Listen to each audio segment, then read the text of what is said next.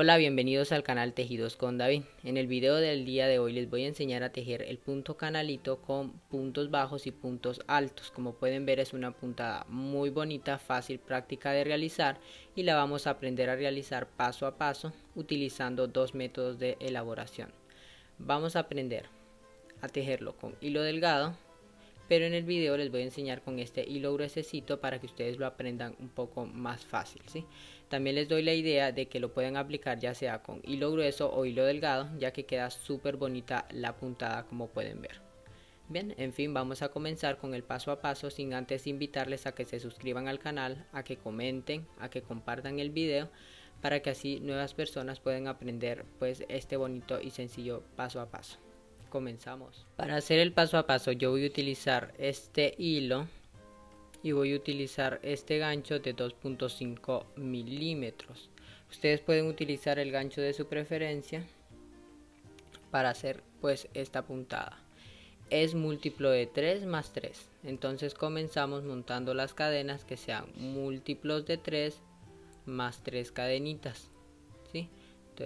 aquí va, llevo 3, 1, 2, 3, 1, 2, 3, 1, 2, 3, 1, 2 y 3. Así ustedes van a ir tejiendo sus cadenas. Una vez tengamos lista ya las cadenas, vamos a subir con 1, 2, 3, 4 cadenas. Y aquí en esta última vamos a tejer 3 puntos altos. 1, 2 y 3 que vayan sembrados en el mismo lugar lazada contamos 1, 2 y en el tercero nuevamente tres puntos altos en el mismo punto.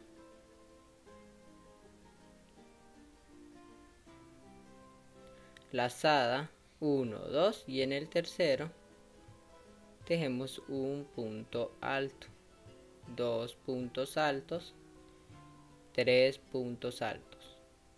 ¿sí? Lazada 1, 2. En el tercero nuevamente repito tejiendo tres puntos altos en el mismo sitio. Ahí está. Lazada 1, 2 y en el tercero un punto alto, un punto alto y un punto alto. El mismo proceso ustedes lo van a llevar hasta finalizar la hilera. Finalizaremos con el último punto alto en la última cadenita. Ahora, para la siguiente hilera subiremos con un punto cadena y este punto lo vamos a tejer con punto bajo. Ahora aquí vamos a tomar puntos en relieve, entonces vamos a meter el gancho de esta forma y sacaremos. Ahí está el primer punto de relieve con puntos bajos, ¿ven? Punto bajo de relieve, miren, de esta forma, donde inicia la trencita, ahí es donde vamos a sacar el punto. Ahí ven.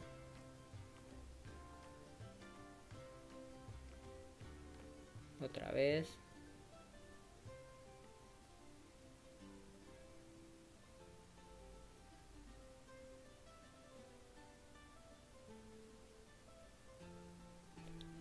Ahí van, ¿ven?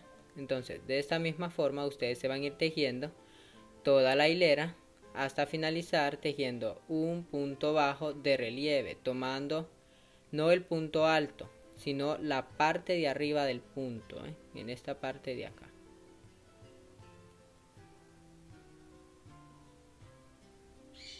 Aquí ven.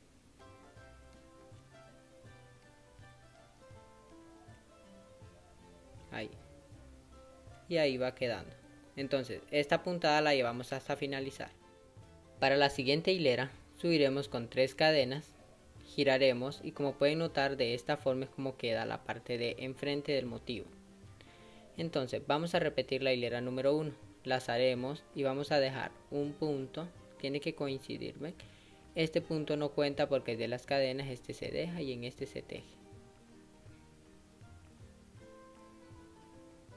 Ahí mismo tejo tres puntos altos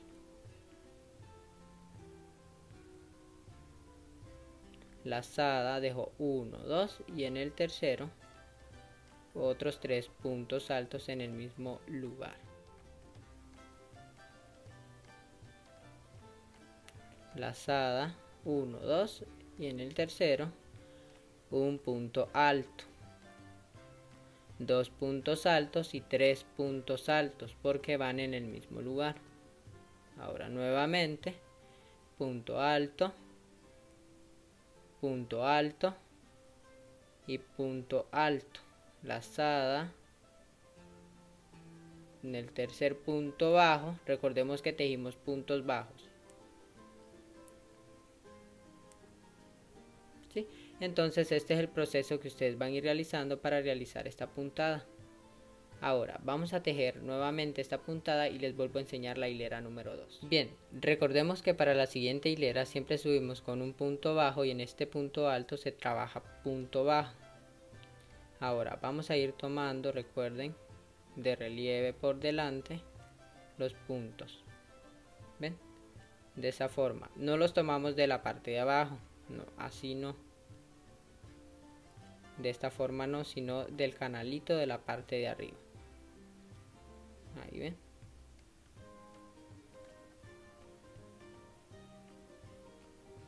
De esta forma entonces yo lo voy a ir tomando.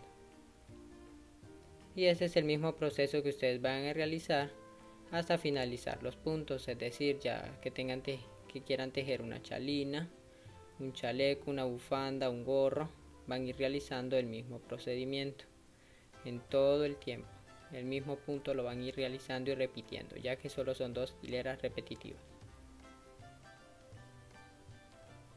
Yo trabajé este punto en hilo delgado también, se los voy a mostrar para que vean cómo va quedando. Miren qué bonito se ve.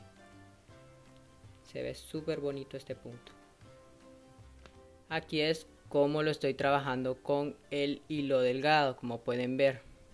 Miren, queda súper bonito el punto canalito y la verdad me gusta muchísimo porque se ven muy detallados los puntos como pueden ver ustedes. Como les digo es una puntada muy facilita de tejer muy bonita la verdad a mí me gusta muchísimo. Espero a ustedes también les vaya a gustar esta puntada